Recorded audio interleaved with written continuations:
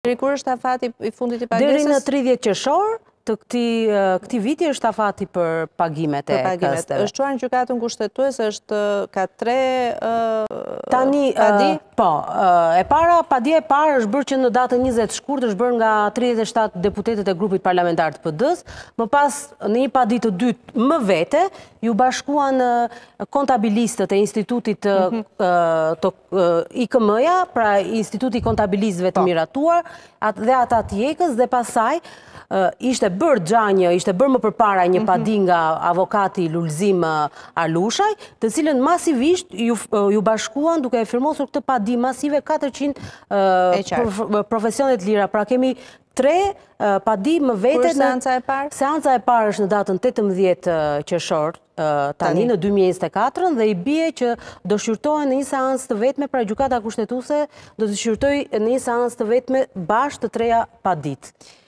Unë të falënderoj shumë, Dorina, ne do të kemi rast që të flasim natyrisht për këtë, sepse profesionet e lira, siç e thamë, është profesioni ku taksohet mendja, këta njerëz nuk kanë përveç mendjes së tyre, asnjë financim tjetër, qoftë të nëndheshëm, qoftë në sipërfaqe të dukshëm, punojnë ditën dhe natën, nuk dinë shpeshherë të kenë edhe pushime të fundvitit si shumë të tjerë, nuk iu paguhen dhe po sigurimet shëndetësore dhe sigurimet shoqërore, gjithçka e kanë në pagesën e tyre, por të paktën të jenë të qartë përse duhet të paguajnë një taksim të tillë dhe të paktën kjo do të ishte më korrekte. Shumë faleminderit që ishe në studio.